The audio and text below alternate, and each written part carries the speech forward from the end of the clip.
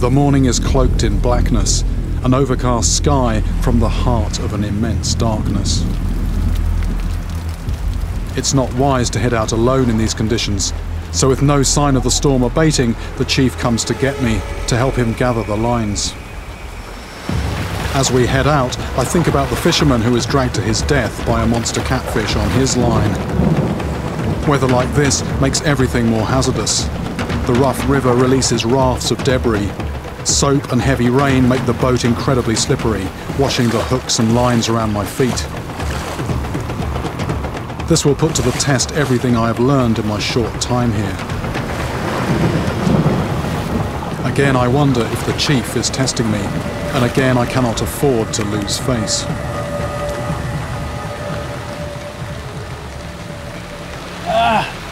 C'est ça, ça c'est le poisson. C'est the poisson, c'est the poisson. The line, the straw is tight. It's, it's really hard to undo the, uh, the knot here, which can mean it's a fish. So I just need to make sure that once I've untied it, I've got a good grip on it. Okay.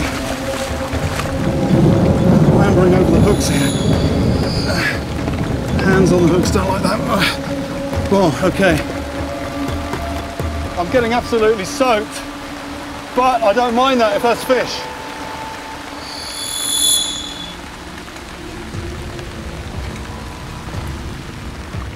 Right. It's a fish, there's a fish, there's a fish.